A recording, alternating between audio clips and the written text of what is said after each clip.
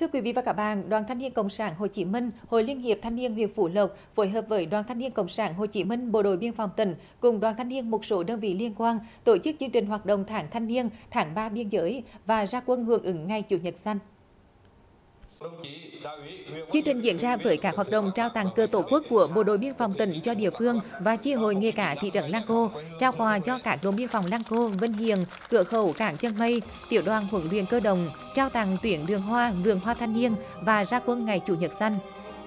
Tháng thanh niên năm nay diễn ra với các hoạt động phong trào thi đua sôi nổi, tập trung vào bốn hoạt động chính, gồm tuyên truyền giáo dục về truyền thống vẻ vang của tuổi trẻ Thừa Thiên Huế và Đoàn Thanh niên Cộng sản Hồ Chí Minh, phát huy tinh thần sáng tạo tình nguyện vì cộng đồng của thanh niên, đồng hành với thanh niên khởi nghiệp lập nghiệp, chăm lo hỗ trợ thanh thiếu nhi và xây dựng đoàn vững mạnh, mở rộng mặt trận đoàn kết tập hợp thanh niên. À, về phía huyện đoàn cũng đã à,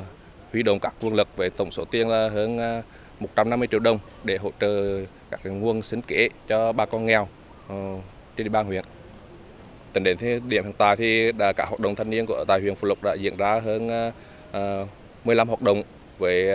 đồng thời là tại các đợt hoạt động thì có phát động phong trào canh dụng xanh thì đã huy động hơn 1.000 lượt đoàn viên tham gia làm vệ sinh môi trường.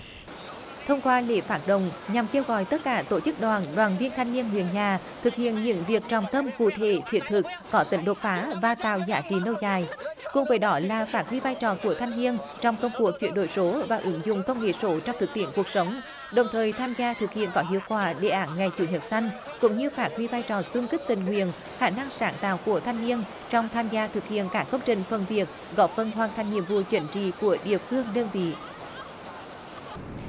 Tôi cảm nhận rất tự hào và rất là vui khi được tham gia chương trình này để chúng tôi có thể lan tỏa đến tất cả mọi người về cái những cái vấn đề về môi trường cũng như là lan tỏa đến các bạn trẻ hiện nay. Chúng ta hãy rời xa những chiếc điện thoại và chúng ta hãy tham gia những cái hoạt động thiết thực như thế này để chúng ta không những là bảo vệ môi trường và bảo vệ khung cảnh sống của chúng ta.